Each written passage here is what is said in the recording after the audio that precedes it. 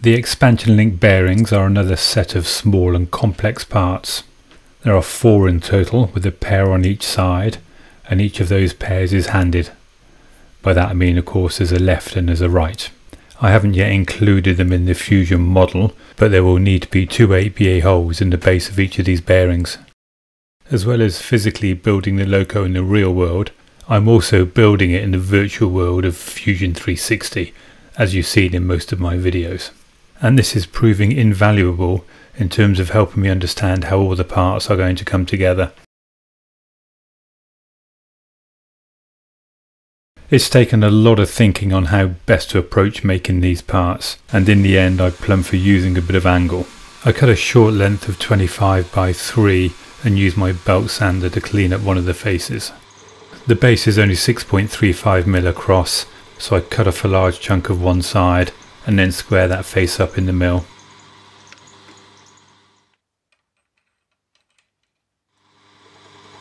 I carry on in the milling machine to clean up all the faces and square up the edges.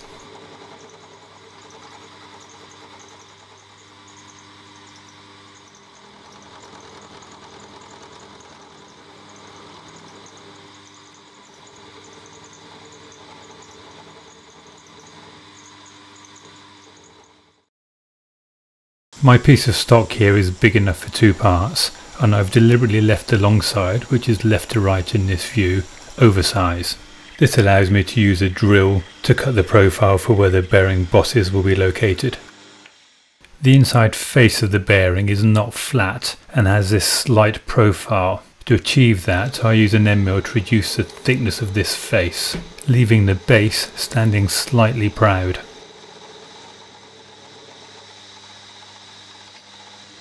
We can ignore that little strip across the top because that will be coming off. Hopefully you can see where I'm going now. I've scribed the outline of the two bearings on the stock and separately I've turned two bosses. Don calls out that these be turned from bronze but I've used mild steel and I'll fit phosphor bronze bushes to them. On each of the bosses I've turned a shoulder. This allows me to locate them quite snugly in the stock ready for soldering. Because it's quite messy with the flux and of course there's lots of high temperatures and flame involved, I don't really like videoing when I'm soldering, so unfortunately I'll just have to run through a series of pictures. To start I've separated the two bearings from the stock and just in front of the bearing you can see the little rib that I've cut from some 1.6 mild steel. To avoid getting solder all over the part, I've drawn a pencil line around the joints. This should stop the solder from spreading. I've also put a little notch in the boss to help locate the rib. After applying some flux paste to the joints, I've also added some small little bits of silver solder, which hopefully will flow nicely into the joints. Another thing worth noting is how I've placed the workpiece on these vermiculite blocks. I've done it this way so that I can apply heat from underneath and hopefully avoid blowing those little bits of solder off. It would appear from this picture, taken just after I'd heated the part and the solder had flowed, that I've been quite successful. You can just make out the solder joint between the parts.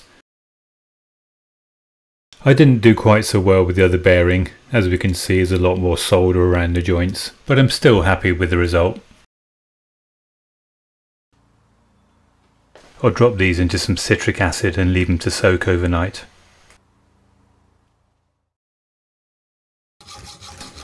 Next it's back onto the bench for some work with the hacksaw and files to bring it into shape.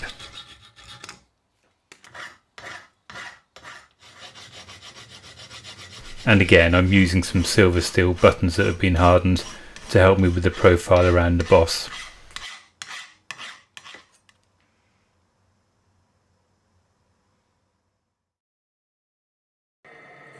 For the bearing bushes I turned down some phosphor bronze bar to 6mm diameter part off to length, centre drill, drill and ream to size at 4.5 millimeters.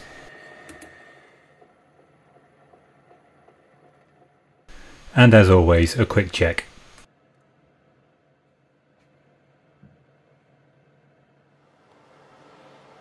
I now Loctite the bushes into place in the bearings.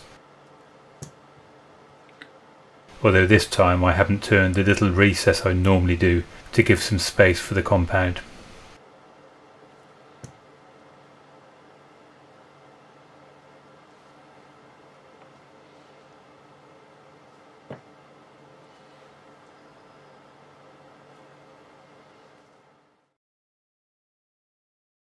I do still need to drill and tap the holes for the mounting bolts and of course the corresponding holes in the motion plates but I'm going to hold off doing that for now as I know I'm going to need to make some other changes as a result of me pushing that piston centerline out by an extra millimeter.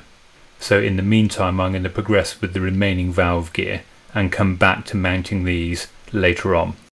I also need to figure out how the hell I can clean those surfaces around the rib. But anyway, as always, thanks for watching.